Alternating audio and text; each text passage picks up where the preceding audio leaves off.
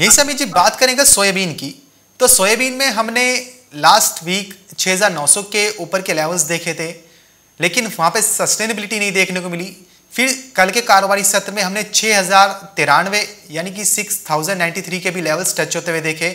तो ओवरऑल देख रहे हैं कि लगभग 800 से 900 का लेवल गिरता नज़र आया था। लेकिन आज देख रहे हैं पाँच फ़ीसदी का ऊपरी सर्किट लग चुका है और चौंसठ के ऊपर एक बार फिर से सोयाबीन ट्रेड करती नज़र आ रही है। आपको क्या लगता है?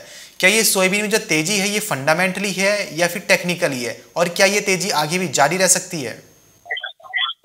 जी मेरे ख्याल से दोनों का इम्पैक्ट है। टेक्निकल बाउंस बैक की भी ज़रूरत थी लेकिन फंडामेंटली जो रुझान है या जो रुख है वो ऊपर की तरफ़ है। तो ये बहुत ही बड़ी पॉसिबिलिटी है कि जो पहले की तेज़ी थी उसकी रिजम्पशन यानी फिर से शुरुआत हो चुकी हो हम्म। एक बड़ी करेक्शन के बाद।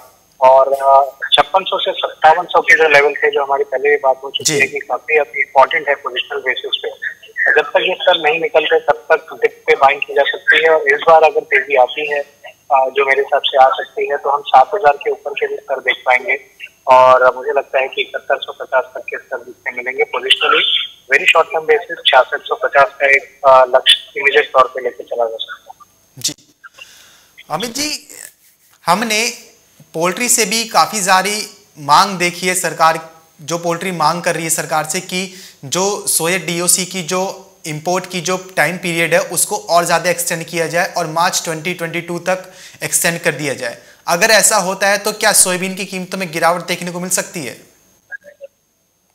जी, देखिए टेम्पररी गिरावट ऑलरेडी आ चुकी है और हमने वो जो आपने जो बात बताई, वो डिस्काउंट होते हुए ही देखा है। अब ये फैसला किस तरफ़ आता है उसके ऊपर फ़िलहाल निर्भर है। लेकिन मुझे ऐसा लगता है कि ओवरऑल सोयाबीन में अगर गिरावट आती भी है तो काफ़ी हद तक लिमिटेड होगी।